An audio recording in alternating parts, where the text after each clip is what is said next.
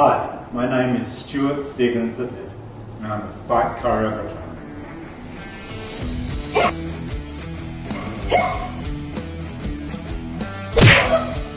So what is film combat? It's the art of creating the illusion of violence for the screen. So who is the workshop meant for? It's meant for anyone who enjoys creating content or having fun. Okay, let's have some fun.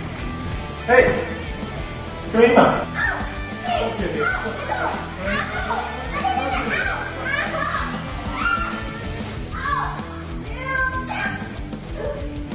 So what can students expect upon completion of this course? Well, they can expect to have learned some warm-ups with music.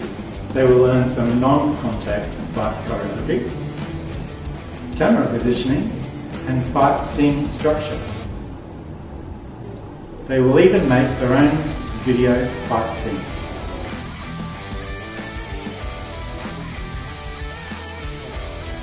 So do students need martial arts experience? No. I can show them everything they need to know.